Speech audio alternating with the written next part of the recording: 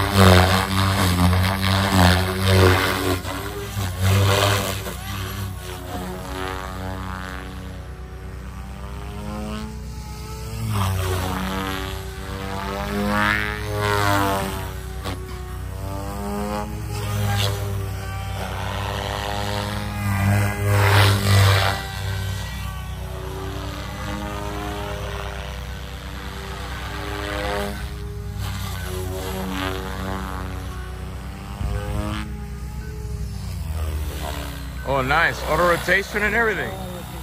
Oh, not really, but quite close. Quite close. Nice. Nice, dude. You like it? I like Is it. good? It's fun. Nice. nice.